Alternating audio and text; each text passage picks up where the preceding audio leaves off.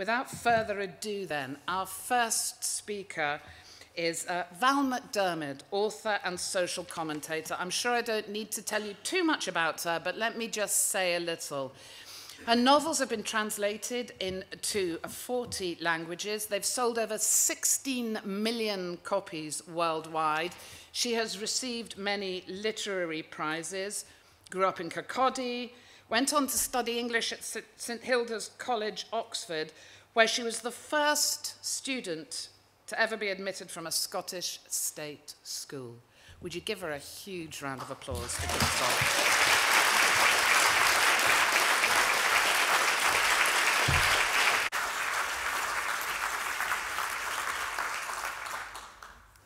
We should not be here. We should not exist. I say this not as some profound philosophical point, but because it's a moral truth. 50 years ago, a group of people got together in this city and decided to start a campaign to end homelessness. They thought it might take between 10 and 15 years to achieve that goal. 50 years ago. Incidentally, that's three years more than the average lifespan of a homeless person living on the streets. We're here tonight because, in spite of our best efforts, we have failed. Nobody in that Edinburgh living room thought they'd still be fighting this particular social injustice 50 years on. They believed at the very least that they'd help to make things better. But in spite of their best efforts, and I'm not suggesting for a moment here that Shelter Scotland hasn't made an enormous positive impact. Things have got worse. A couple of months ago, I read the following staggering statistic. One person in every 200 in England and Wales is homeless either sleeping rough or living in temporary accommodation. In London, the proportion's even higher, 1 in 53. The economic geographer Danny Dorling has said, you could argue that the census form should start to ask, have you ever been homeless? And if so, when and for how long? We talk a lot about social justice here in Scotland. We pride ourselves on championing a more equal society than in other parts of the UK. But the progress we have made on homelessness simply doesn't match the rhetoric. We compile our figures differently from England, but there's still no hiding place.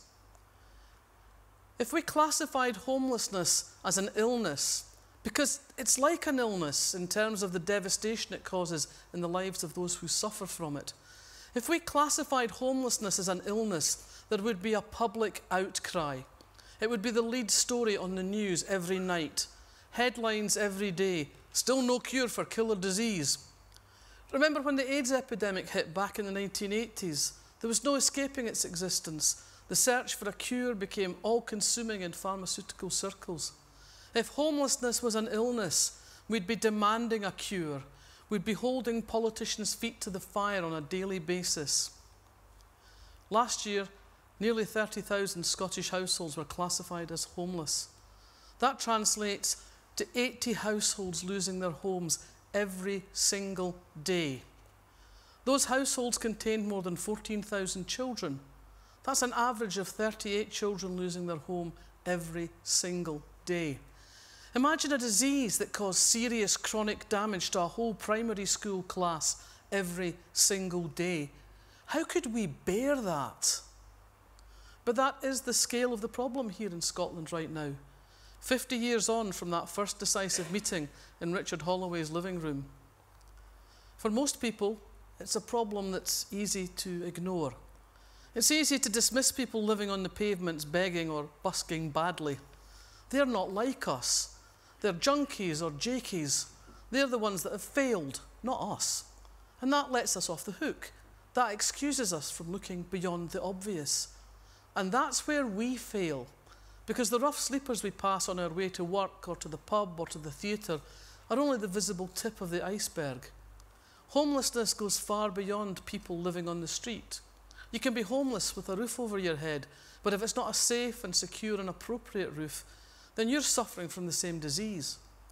You can be defined as homeless if you're sleeping on the streets, if you're sofa surfing with friends or family, if you're staying in a hostel or bed and breakfast hotel, if you're living in overcrowded conditions, if you're living in fear of violence in your home, if you're living in the sort of appalling conditions that have a profound impact on your health, if you're living in a house that's not suitable for you because you're sick or disabled. My working life involves the exercise of imagination. Every day I sit down at the keyboard and I think myself into other people's shoes. When I was asked to speak at this event, I set myself the challenge of thinking what it would be like to fall into one of those groups. I say challenge because I've never stood on the cliff edge of not knowing where I was going to sleep that night. I've been lucky. I've been skinned. I was a hard up student, a poor trainee journalist, a broke baby writer, coppering up every month to pay the bills. But my life was never so precarious that I never had somewhere to lay my head. So I went for a walk around the city and I tried to imagine what it would look like through the eyes of someone, someone who had nothing and nowhere. You see the city in a very different way. Where can I sit down? Where can I go to keep warm? Where can I pee? How can I get new glasses? Where can I go when it's raining? Where can I wash? Who will talk to me? How long can I sit in McDonald's with the cheapest burger? How can I stop hurting? Will I ever see my kids again? Are that bunch of drunks going to give me a doing? Will someone steal my stuff if I go to sleep? A couple of hours of that, and I felt exhausted and drained. And I knew I could make it stop any time I wanted to. Those anxiety levels don't only afflict people living on the streets. We've got a whole new stratum of society these days that we've had to invent a name for the precariat. People living right on the financial edge People we can't just loftily dismiss as feckless. I'm talking about people who go to work every day, sometimes doing two or even three jobs to support their families. One in five people in Scotland are defined as living in poverty after their housing costs. They rely on food banks to put dinner on the table. They're just one pay packet or one car repair away from financial disaster. The rent arrears mount. The eviction order is granted the family splits under the stresses. Mum and the kids are in the sort of bed and breakfast nobody would stay in from choice, and dad's living in his car till the tax and the MOT run out. We don't like to think of this as what life is like for a fifth of the population in modern Scotland. A fifth of our people whose life chances are constricted and constrained. A fifth of our people who are pushed to the margins. They don't feel part of anything. They're outsiders. They're homeless both in the literal and the metaphorical sense. I want to talk a little bit about my own sense of home. I left Scotland when I was 17 because I knew I was an outsider. I didn't really understand why I felt that way. I thought it was because I wanted to be a writer, and writers were supposed to have a sense of detachment, a splinter of ice in the heart, as Graham Greene put it. I didn't understand the real reason because I had no vocabulary for it. In Fife, in the late 60s and early 70s, you'd have been more likely to find a unicorn than an out lesbian. there were no templates for a life that didn't conform to narrow ideas of sexuality. No lesbian movies, no lesbians in the soap, no lesbian novels except The Well of Loneliness. And when I read that, I decided I couldn't be a lesbian. Because I didn't want to wear men's suits, I didn't want to be called Stephen, and I didn't want to kill myself. Luckily for me, in my last year at university, I found the feminists, and through them, the lesbians. I found myself. Yes. Yes. Yes. I went back to Scotland a couple of years later. I wanted to go home now I felt at home with myself. And I discovered pretty quickly that being a woman on the news desk of a Scottish national newspaper was hard enough being an uncompromising lesbian was like living in a perpetual battlefield.